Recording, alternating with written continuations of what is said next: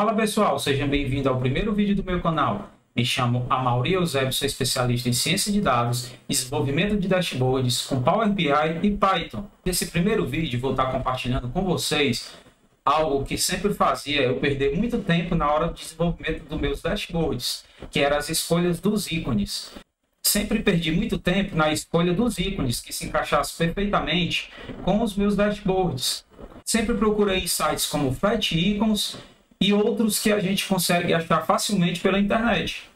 Acabava muitas vezes perdendo tempo pensando qual ícone usar, se aquele ícone era adequado para o indicador que eu estou desenvolvendo. E no final, após levar bastante tempo para escolher esses ícones, muitas das vezes ainda não acabava satisfeito com a, o resultado final. Acredito que muitos de vocês possam estar passando pelo mesmo problema e hoje vou estar compartilhando com vocês a forma no qual eu acabo ganhando bastante tempo criando meus próprios ícones usando inteligência artificial. Estão prontos para começar?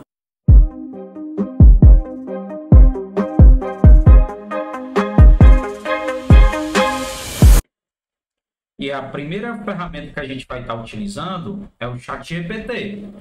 Então, por exemplo, Vou digitar aqui. Estou desenvolvendo um dashboard da área comercial e preciso de ideias para ícones dos seguintes indicadores abaixo. Vamos pensar aqui, indicador 1, ser um resumo de vendas. Indicador 2 pode ser um ticket médio. Indicador 3 é desempenho de vendedores. Vamos ver aqui o que é que ele vai estar sugerindo. O resumo de vendas, um gráfico de barras ou gráfico de linhas ascendentes, ícones representa um crescimento performance que alinha bem com a ideia de resumo de venda, mostrando a saúde do determinado período. Vou esperar que ele acabar de dar as ideias.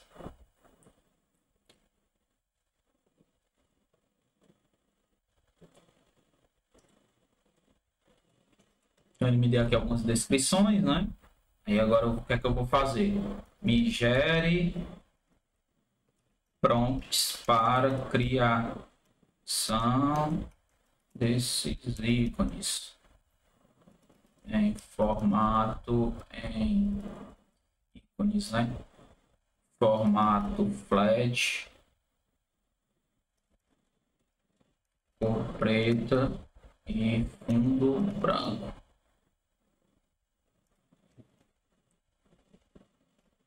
Então aqui ele vai estar tá me gerando agora prompts.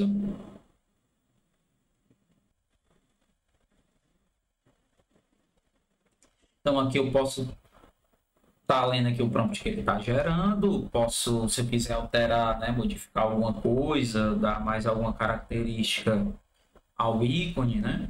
Posso estar tá modificando também. Só que aqui eu vou pegar exatamente o que ele está me passando aqui, certo? Vou abrir aqui um novo. Vou dar um enter.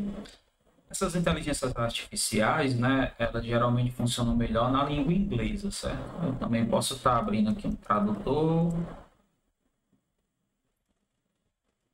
Tá pegando aqui o, o resultado. Ó, então ele gerou aqui um. Vamos ver aqui se eu pedir em inglês aqui, ver se é que vai vir.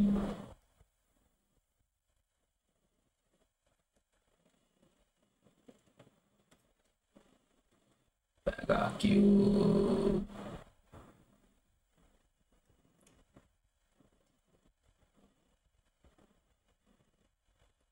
às vezes esses prompts muito longos ele acaba gerando algumas imagens não muito satisfatórias né?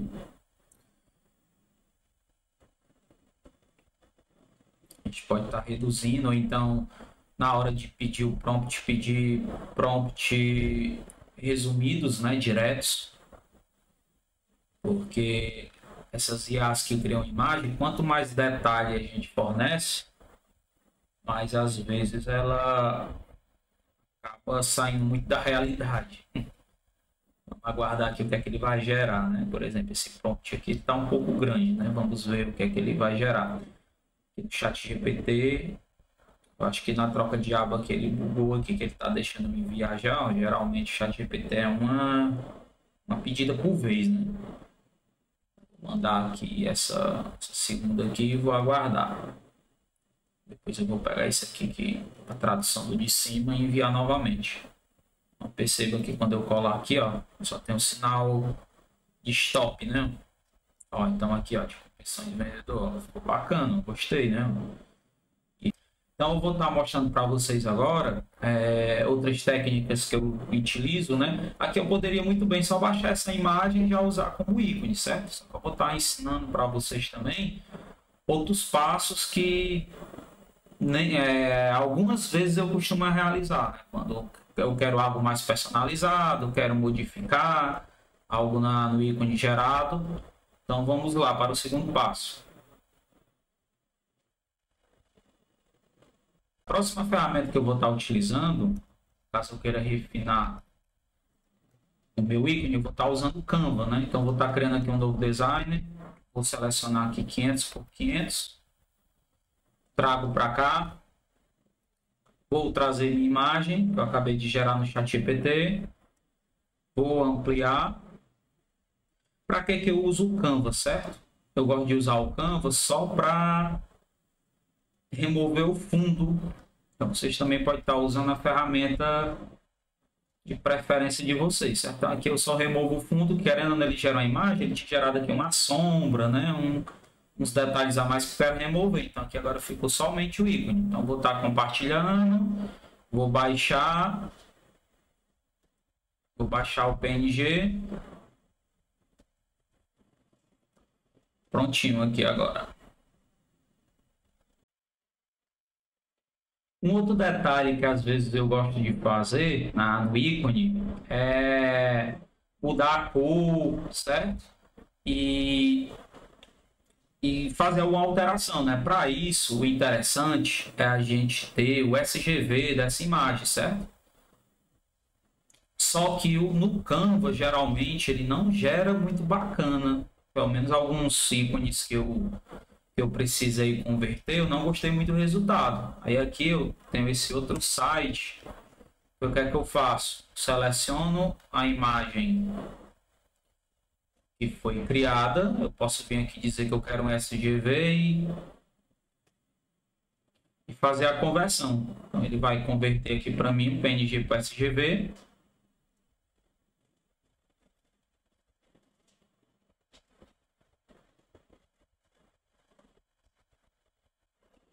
Aguardo um instante.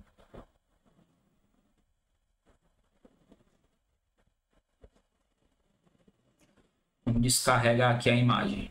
Pronto, então aqui agora eu estou com SGV. Aí do SGV tem uma quarta ferramenta. Lembrando que todos esses passos que eu estou passando, né, de refinar a imagem é opcional, né?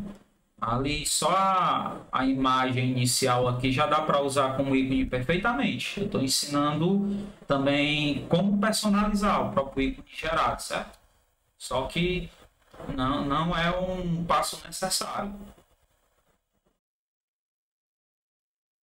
E uma outra ferramenta né, que eu posso estar refinando mais ainda o SGV que foi gerado é o próprio Figma. Então, vou entrar aqui no Figma. Vou criar um design novo. E voltar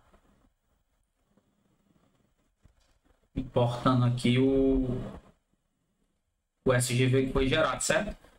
Então perceba aqui que o SGV ó, ele vetorizou todo o desenho. Então aqui ó, eu posso estar, por exemplo, ó, tirando aquele ícone, movimentando né, o troféu. Vou deixar do jeito que estava, só para mostrar. Então aqui tem tudo. E o mais importante, que é uma das coisas que eu gosto daqui, é o fato de poder mudar a cor, tá vendo?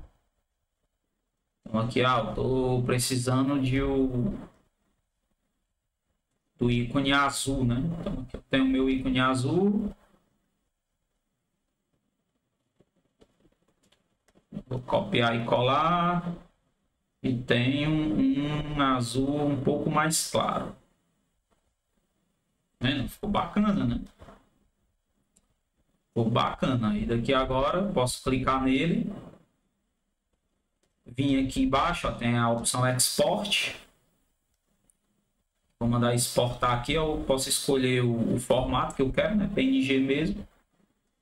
Exporta aqui. Tá aqui o nosso nosso ícone aqui perfeito agora para estar tá usando no nosso dashboard. Né?